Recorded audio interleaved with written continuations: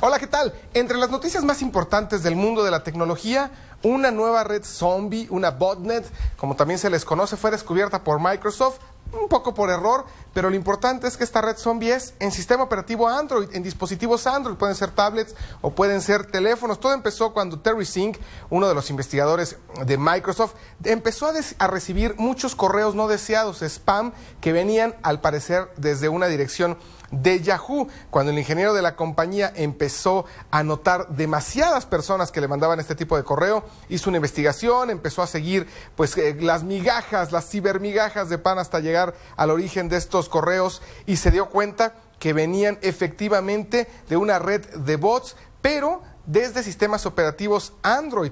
Según Sync, el estudio y el análisis que ha llevado a cabo, esta eh, red zombie está operando en Tailandia, Venezuela, Chile, Omán, Líbano, Indonesia, Filipinas, Rusia, Arabia Saudita y Ucrania. Esto es porque el nivel tecnológico en estos países es aún emergente y las personas que eh, pues tienen un dispositivo Android buscan no comprar o bajar artículos de la tienda oficial, pagar por ellos, sino tiendas gratuitas, aplicaciones gratuitas, y es ahí donde los hackers ponen este programa para que sea descargado. Esta botnet podría convertir a todos estos teléfonos y dispositivos Android en una gran amenaza para hacer ataques cibernéticos, pero ahora desde dispositivos móviles, así que los teléfonos también necesitan ser cuidados, también necesitamos ver qué aplicaciones bajamos y de dónde esta botnet descubierta por Microsoft. Pasando a otras cosas rápidamente, HP ganó la patente, Hewlett Packard, de las pantallas transparentes en Estados Unidos. ¿sí?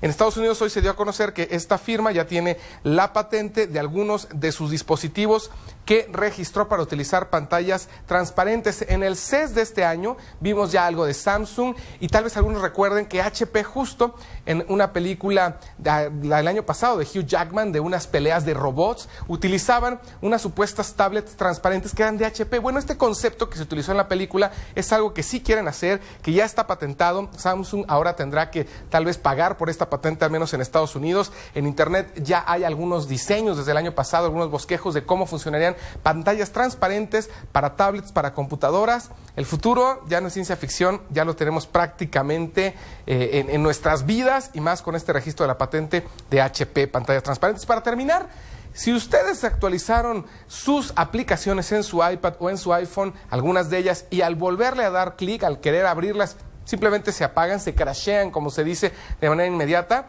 No, no es su iPad, es un error que aún Apple no ha sabido descifrar, no ha dado a conocer realmente qué es lo que está pasando. Todo empezó cuando Marco Armen, el creador de una de estas aplicaciones de Instapaper, empezó a recibir muchos correos de que al actualizarse ya no servía su, su, aplicación, le preguntó a Apple, Apple como que le dijo, sí, ya estamos viendo, resolvió el problema en su aplicación, pero no le dio mayor respuesta. Algunas de las aplicaciones afectadas por esta actualización son eh, Flick Soccer, Redshift, Gaia GPS, Angry Birds Space HD, la versión gratuita, Pinball Maniacs, Stack the States, The Read Foster, Mofo, Melodies Pro, Cincy Mobile, Dolphin HS Browser, bueno, muchísimas. Así que yo diría que no actualicen ahorita su iPad, no actualicen ahorita todas estas aplicaciones en su iPhone y en su iPad. Esperen a que tengamos una respuesta oficial, porque si no, de repente ya no van a servir. Y si ya desde los que la actualizó y tratas de abrir una aplicación y simplemente ya no abre, se, se cierra, bueno, pues esta es hasta ahorita la respuesta. Esperemos que muy pronto haya algún posicionamiento oficial de parte de Apple. Hasta aquí las noticias más importantes del mundo de la tecnología. Nos vemos muy pronto.